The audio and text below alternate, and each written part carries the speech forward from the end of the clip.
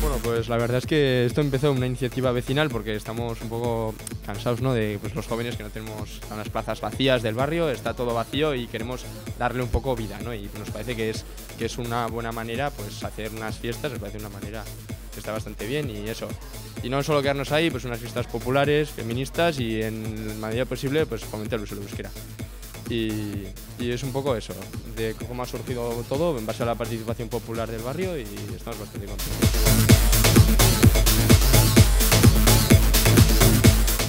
Ba, pixka denetatik dago, goizean badaude ba, erraldoi eta gaitero kale jira bat, e, txikientzako hainbat ekintza ere, gero ba, badago herri, herri bazkari bat, eta gero badaukagu elektro bat, DJak eta olako zenbait gauza.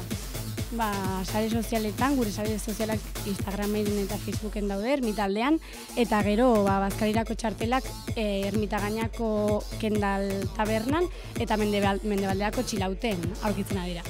Bueno, ba, animatu, osongi pasako dugula eta gogo asko ditugula hau lortzeko.